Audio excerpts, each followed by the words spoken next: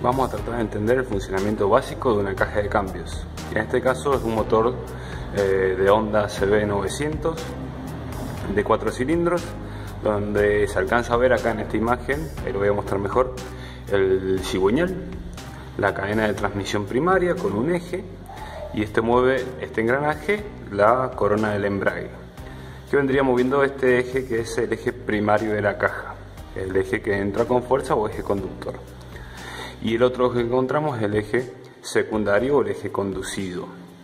Entonces tenemos primario y secundario. Sobre los dos ejes vamos a tener dos tipos de engranajes. Unos engranajes que giran locos, quiere decir a otra velocidad que el mismo eje. Y engranajes que giran solidarios, es decir, que giran a la misma velocidad o giran eh, por medio de un estriado, giran conjunto con los ejes. Ahí se alcanza a ver algunos engranajes que son locos. Este es un engranaje loco del eje secundario. Otro engranaje loco y otro engranaje loco del secundario. Los engranajes locos quedan enfrentados siempre con un engranaje que es solidario o que gira junto con el eje. Entonces tenemos un solidario con un loco, un loco con un solidario, un loco con un solidario, y así en, todos los, en los dos ejes. En esta condición que está acá se encuentra en punto muerto porque yo giro el eje de entrada y no tengo fuerza en la salida. Tiene un pequeño arrastre que es, propio de los centros, los bujes de los engrajes locos, pero no tiene salida de fuerza. Además, en los dos ejes vamos a encontrar algunos engranajes que son desplazables, quiere decir que se pueden mover hacia los costados. Tienen una caralita que acá donde van a alcanzar las horquillas de la caja de cambios que ahí les voy a mostrar que están en, el otro pedazo del cárter.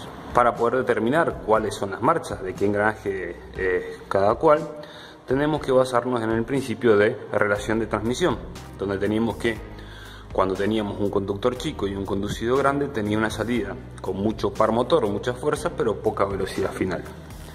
Entonces, como este es el eje conductor, el eje primario, vamos a tener que el engranaje más chico, en este caso este, va a ser el de primera junto con este grandote que es el del secundario.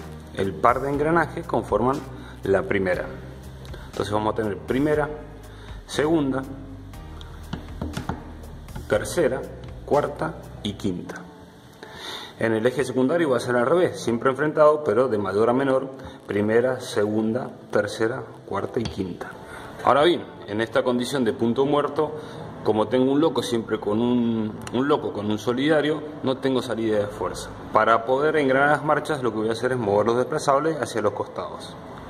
Si yo quisiera seleccionar primera, o sea, este par de engranajes, lo que voy a tener que hacer, mover uno de estos desplazables que son solidarios y hacer que haga contacto los, los tetoncitos de la caja, del engranaje, junto con el loco. Quiere decir, para poder seleccionar primera voy a tener que mover este desplazable hacia este lado. Ahí estoy en punto muerto, se tienen que alinear el engranaje y ahí entro primera. En ese caso tengo arrastre o tengo salida por el eje secundario. De nuevo vuelvo a punto muerto y si quiero seleccionar segunda, el par de engranajes de segunda son estos. Tengo este que es solidario y este que es loco. Entonces para poder engranar la marcha voy a tener que mover este desplazable hacia aquel lado. Ahí tengo seleccionada segunda. Fíjense cómo va cambiando la velocidad de salida del eje, comparando con la primera, cómo va eh, aumentando la velocidad, pero a la vez perdiendo eh, par o fuerza. Segunda, vamos con la tercera, que es este par de engranajes. Este es solidario y este otro es loco. Entonces el que se mueve es este desplazable de acá, hacia el costado. Tengo tercera. El par de engranaje de cuarta vendría siendo este. Quiere decir que para poder seleccionar, fíjense cuál es el loco acá, este. El que se mueve va a ser el desplazable del eje primario hacia este lado. Entonces tengo cuarta. Y por último, quinta va a ser este par de engranajes. Este es loco y este es solidario. Quiere decir que este desplazable se va a mover para allá.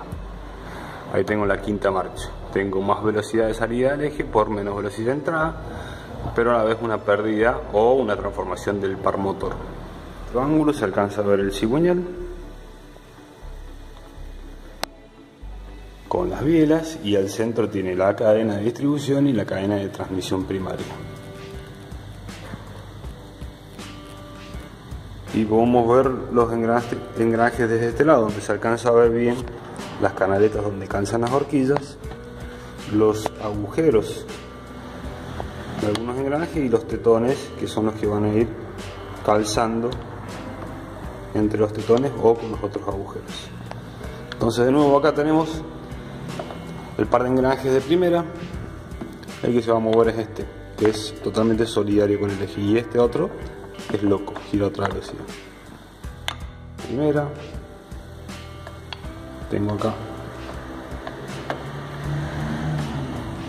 segunda, el de acá va a ser este para acá, tercera,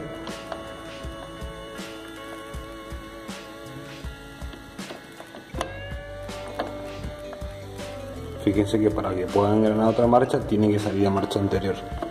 Cuarta y la quinta.